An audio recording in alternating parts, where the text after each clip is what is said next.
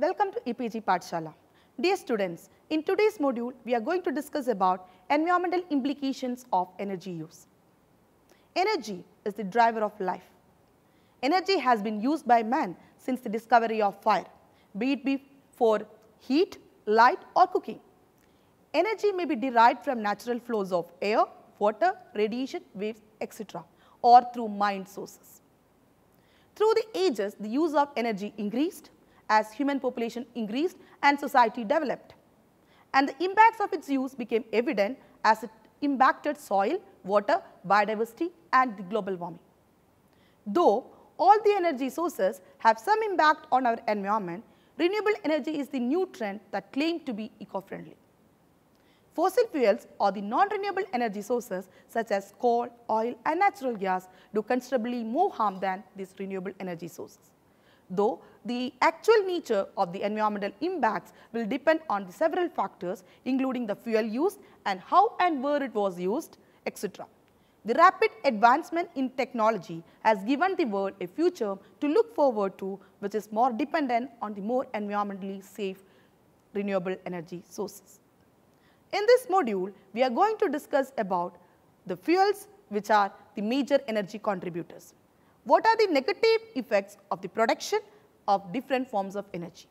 What are the effects of the thermal power plants and why this firewood is considered as a bad source of energy? And we will also see the global warming with respect to energy. In this slide, you can see the trend of energy use in the world. Here, the fossil fuel, the oil, coal and gas have been and still remain the major energy providers. It constitutes more than 80 percentage of the total energy use. Among the renewables, the other sources except hydro and nuclear power have come up in the recent years. Now we will see what are the environmental issues associated with different energy sources. The impact of energy use on the environment in general ranges from the diversion of land, pollution during the construction of power plants, impacts of mining for fossil fuels, deforestation, ecological influences due to changes in natural flow of river due to dams, danger to the marine and avian fauna, climate change, etc. The first one is the burning of firewood and biomass. Firewood is one of the oldest source of energy to this mankind, but its burning causes several issues. In global terms, the now in global terms, now wood fuel represent about 7 percentage of the world's total primary energy consumption. But wood is not a clean burning source and hence leads to more pollutants being released into the air. Further, the requirement for wood comes not only from this sector, but from industries as well, like paper and construction. The increasing competition results in the unsustainable harvesting of wood, risking the existing forest and in turn the ecological systems dependent on these forests, causing loss of biodiversity, increased soil erosion. Biomass burning accounts significantly to global emissions contributing as much as 40 percentage of the gross carbon dioxide and 38 percentage of tropospheric ozone. Apart from this, 1.4 million tons of methane emission are also reported from the burning of traditional biomass fuels. The biofuel is solid, liquid or gaseous fuel that obtained from this biological material. The increased crop production for the biofuel will require the use of more herbicide, pesticide and fertilizer that can be leached or reach surface water bodies, leading to other environmental issues like eutrophication and can affect aquatic biodiversity. Further, the negative implications on biodiversity due to its habitat conversion and loss, agricultural intensification, the spread of invasive species and pollution. The second issue is the depletion of fossil fuel. Coal, crude oil and natural gas constitute the fossil fuels which currently contribute 28.6 percent, 31.3 percent and 21.2 percentage of the global primary energy. At the present rate of energy use, the equivalent of over 11 billion tons of oil in fossil fuel is consumed worldwide per annum. But these energy sources are not everlasting. Studies have predicted the depletion times for the coal, oil and natural gas are approximately 107 years, 35 years and 37 years respectively at the current level of the production. On the other hand, these fossil fuels are also the major contributors towards the pollution, the greenhouse gas emissions and other environmental problems. There are several hidden costs for using the fossil fuel, some which are easily observable including the pollution while others indirect like global warming or increasing the diseases in human beings. Every step of the fuel production, supply and use has some environmental cost ranging from the water and the air pollution and the land degradation at mining stage to the air pollution, risk of spills during transport and emission of the toxic pollutants, particulate matter and greenhouse gas emission during this combustion. The third important environmental issue is the land degradation. Extraction of fossil fuel involves mining and drilling which can be very unsafe and damage the topography causing damage to the land area and destruction of wildlands.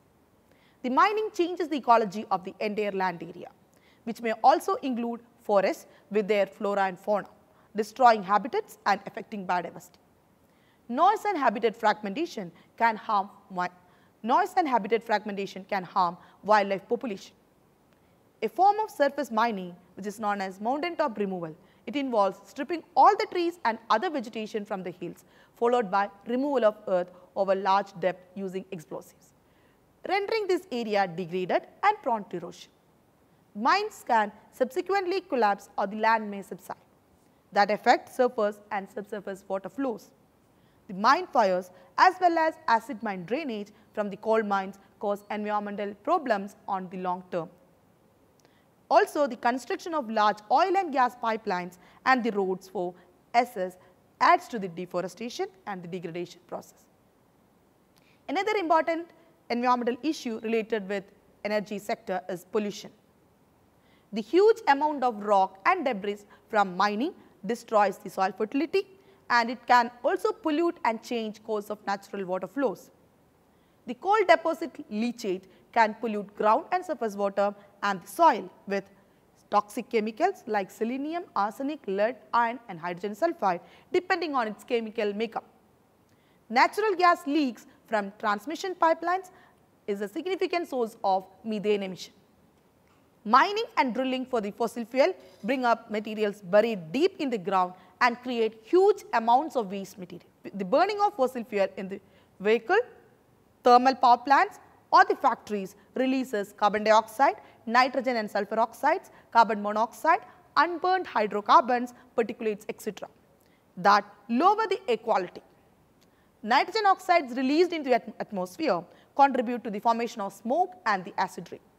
Coal-based power plants are a large source of mercury emissions. As this airborne mercury settles, it may be washed into water bodies and can get accumulated and move along the food chain. Cleaning and processing of coal also leaves behind waste which is rich in sulfur and heavy metals, while fly ash emitted during combustion also pollutes the surrounding land, crop and water. Coal-based power plants are known to have higher carbon dioxide emission and other pollutants per kilowatt hour electricity generation. Thermal power plants are also responsible for causing thermal pollution. They obtain large quantity of water from surface and groundwater bodies that is later discharged at high temperatures directly impacting the local ecosystems and often competing with other uses such as agriculture. The oil is transported across the ocean in tankers and over the land by the pipeline, rail or the truck. In each step, it poses risk of oil spills. The Exxon Valdez oil spill in 1989 in Alaska it is considered to be one of the most devastating human caused environmental disaster.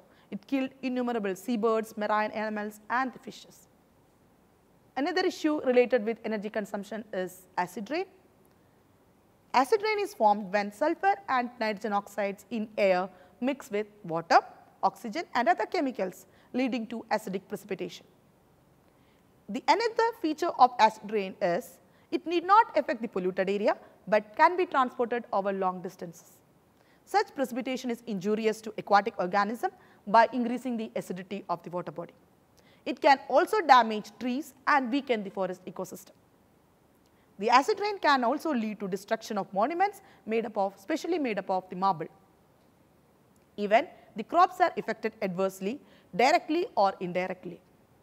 Since the lowering of soil pH leads to leaching of plant nutrients away from the plant surroundings making it unavailable to the plants. The next important issue is the global warming and climate change. Global warming refers to gradual increase in the average temperature of Earth's atmosphere due to accumulation of greenhouse gases such as carbon dioxide, methane, nitrous oxide, water vapor, chlorofluorocarbons. The energy use is a major contributor to the greenhouse gas emission that is shown in this figure. You can see in this figure the contribution from the energy usage to the global anthropogenic greenhouse gas emission is around 68 percent. According to IPCC assessment report, the burning of fossil fuel is started at the beginning of the industrial revolution has increased the heat trapping greenhouse gas contents in the atmosphere and it represents the largest anthropogenic contribution to the climate change. Within the energy sector, carbon dioxide emitted from combustion of fuel dominates the total greenhouse gas emissions. It is one of the greenhouse gases that enhances radiative forcing and contributes to global warming. It causes increase in the average surface temperature. The amount of carbon dioxide emitted per unit of energy output or heat content uh, for the various fuel is given in this table. In this table you can see the various sources and the carbon dioxide emitted. You can see the emission, carbon dioxide emission by the coal, especially the anthracite is higher. It is around 228 pounds per million BTU compared to natural gas having 117 carbon 117 pounds per million BTU carbon dioxide emission. Natural gas constituted mainly by the methane is a more potent greenhouse gas than carbon dioxide when released into the atmosphere because methane is 21 times higher global warming potential than that of carbon dioxide. Oil drilling also produces methane. Although it can be captured and used as an energy source, the gas is often either released that is greatly contribute to atmospheric greenhouse gas or burned that has lesser impact due to its conversion to CO2. According to World Bank estimates, 5.3 trillion cubic feet of natural gas is burned per year annually from drilling sites, creating 400 million tons of carbon dioxide emission. Compared to fossil fuel, renewable energy sources produce lesser carbon dioxide emission. According to a study, the hydroelectricity produces the lowest carbon dioxide emission, wind produces the second lowest, nuclear energy produces third lowest and solar photovoltaics produces the fourth lowest emissions. What are the environmental impact of hydropower? The environmental impact of reservoir is coming under the scrutiny as the number of dams increase to meet the ever increasing demand of energy. The construction of reservoir led to flooding of surrounding areas, complete modification of terrestrial habitats and ecology and the displacement of large number of people. Dams can alter the course and flow of rivers. They obstruct fish migration and spawning affecting their population. The operation of hydroelectric power plant may also change the water temperature and the river's flow, harming the native plants and the animals.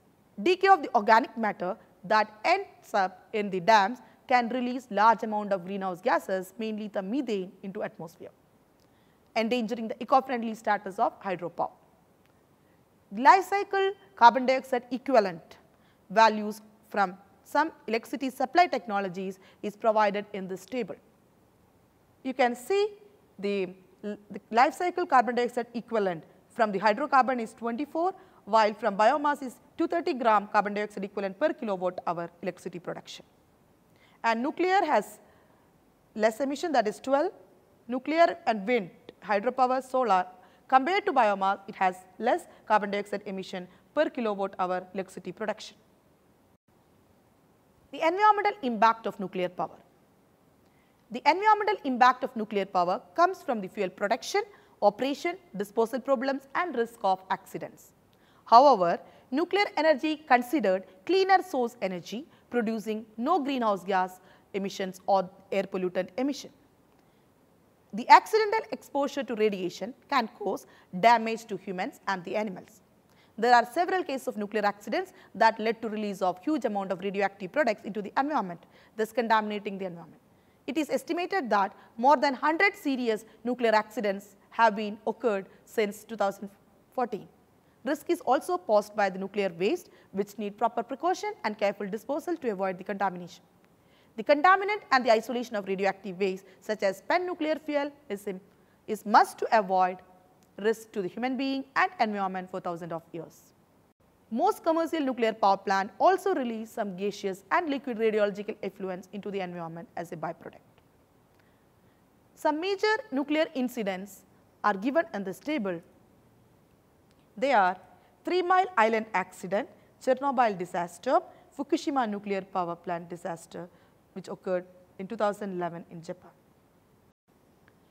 Another factor that hampers nuclear energy production is the requirement for huge quantities of water which not only get heated up during the process of power generation that cause thermal pollution, but also lead to death and destruction of several aquatic organisms that get sucked into the cooling system along with water. Rising temperature of the water body reduces the oxygen content which also kills aquatic animals. The environmental impact of wind power. According to IPCC, wind energy production has been among the lowest global warming potential per unit of electrical energy generated. It is emitting only 11 to 12 gram carbon dioxide equivalent per kilowatt hour and also very minor impacts as compared to other energy sources. However, the other implications include the need for the large areas of land and noise pollution. There are reports of avian mortality as the wind turbines heat the birds. The proper site selection of these windmills and taking of proper technological precaution has been assumed to reduce such impacts. The aesthetic aspects of wind turbines and changes of the visual landscape are significant in these scenic and protected landscapes. Similarly, the clearing of forests can significantly impact wildlife and avian population by altering the microclimate, habitat fragmentation and destruction. What are the environmental impact of solar power? Though it is a source for clean, everlasting and eco-friendly energy source, this solar power is also associated with some environmental impacts. The large land area required for setting up a solar farm is of major concern as it cannot be combined with agriculture or other uses. The production of 1 megawatt electricity requires 3.5 to 16 acres of area depending upon what technology we are using. Also, the manufacturing of photovoltaic cells includes several hazardous materials and chemicals that can cause environmental problems if not handled properly. Greenhouse gas emission occurs at manufacturing, transportation, installation, maintenance and dismantlement stages. The microclimatic modification due to establishment of solar panels on land area also affect sensitive ecosystem. So, to conclude, in spite of the numerous problems associated with the harnessing and utilization of energy, it is important that total energy use the globally increase to meet needs of the developing economy. This necessitates the need for solutions to the short term and long term implications to the environment. Creation of awareness among the people about the renewable and non-polluting energy sources and the energy management has to be done starting from the children. There is a need for the conservation of energy and value of conservation of environment need to be instilled in the children. The energy conservation need to be achieved through energy efficient use along with the decreased energy consumption from conventional energy sources. It can be practiced at individual level as well as community levels. The alternates or the renewable energy need to be employed and promoted on large scale along with the measures for controlling pollution from the fossil fuel will help in the sustainability attainment. In this module, we have seen the trend in energy use in the world, what are the negative effects of the production of different forms of energy. We have seen the environmental impacts of the energy use like burning of firewood and biomass, depletion of fossil fuel, land degradation, pollution, global warming and climate change, acid rain and we have also seen the environmental impacts of hydropower, wind power and solar energy. Thank you.